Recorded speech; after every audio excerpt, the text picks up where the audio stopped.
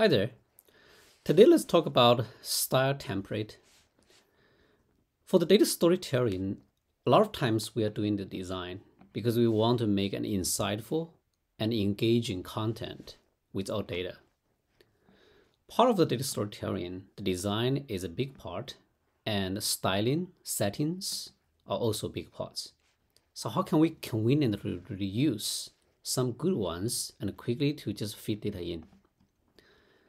We just enabled one option on all the public graph um, from any public view, we, uh, visual view, you can easily to uh, reuse the style. For example, this is one public uh, graph.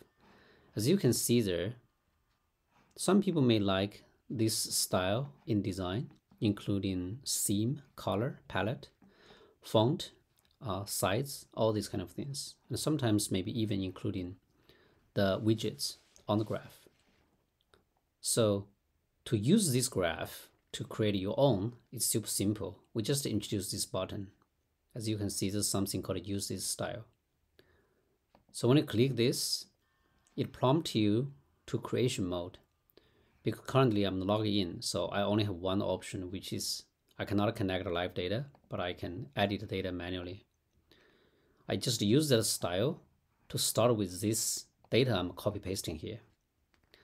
So if I just do that, as you can see, I'm reusing the same graph I just look at from the gallery and all the settings applied to current graph.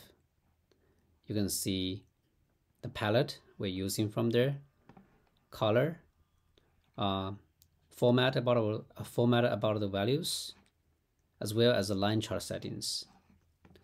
So you can very easily just like from there, one click, get the style, your data, save and share, make a new sharing of yourself. I hope you like this feature and make data storytelling on columns much simpler, much easier. Thank you so much. Bye.